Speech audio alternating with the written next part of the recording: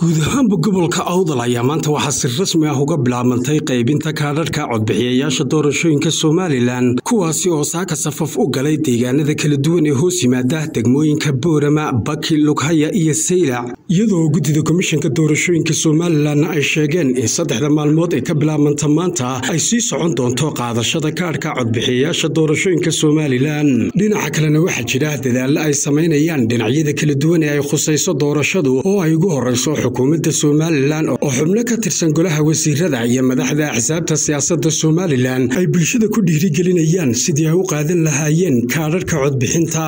Gudoomiye ku-xigeenka guddida komishanka doorashooyinka somalilan oo maanta ku sugnaa magaalada boorama oo warbaahinta kula hadlay xarunta bartamaha magaalada boorama ee loo yaqaana city santarka ayaa waxa uu sheegay in guud ahaanba ay si habsami ah u socdaan qaybinta kaadharhka codbixiyayaasha somalilan ee guud ahaanba gobolka awdal. Waxaa maanta si wanaagsan oo nabadgelyo leh inoogu bilaabmay howlgalkii kaadhqaadashada ee diiwaangelintii dhowaan aynu dhammaynay marka ilaa imika si wanaagsan bay howlo u socdaan.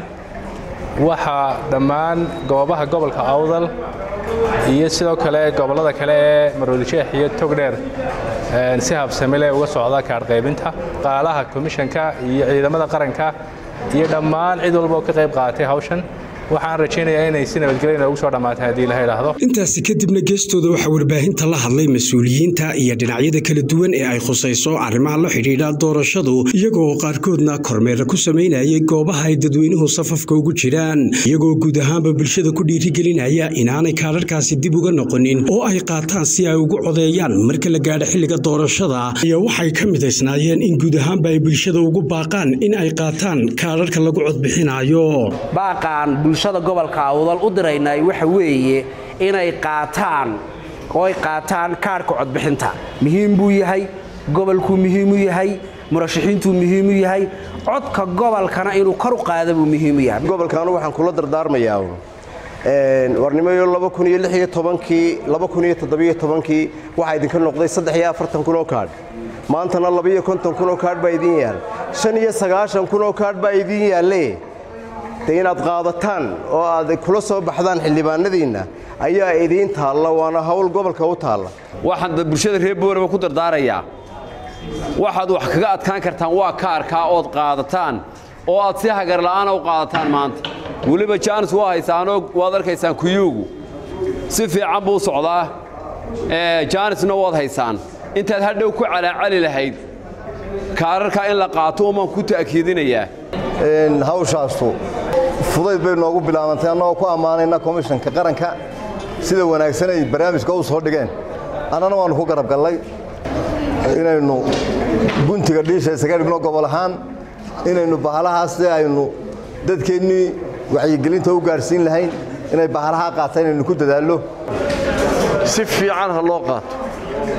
Ha lagu dadaalo dadaal xooga la muujiyo oo moog tahay kaadharhkaa meesha la keenay sidii la idinku keenay uga soo baxdiin. Hadhowta wakhtigaa nagu yarya boodh noqonaysa waa laydiin sii sheegay.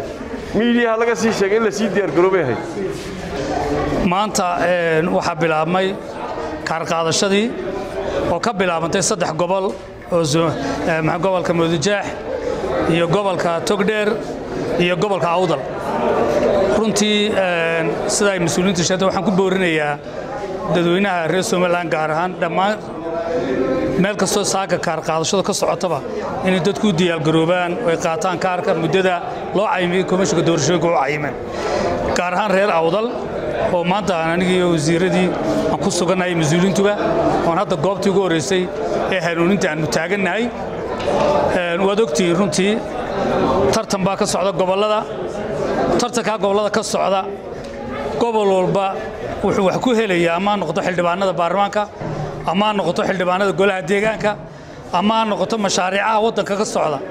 Waa tira wax lagu helayaa.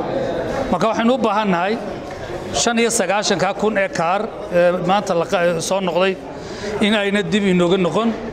Qof kasta oo gobolka awda ka tirsan oo aanan kaarka codbixinta haysan inuu kaarkiisa saaka qaato ibraahim suxufi bulsha t v boorama oo hadal oo hadal. Oo ku hadal. Bishii oo dhan toddoba dollar. oo keliya. Haddaba si aad ugu shubato adeega kaafiye fadlan garaac xidig siddeed eber siddeed afargees ama xidig laba eber laba. Tayo. Waa telesom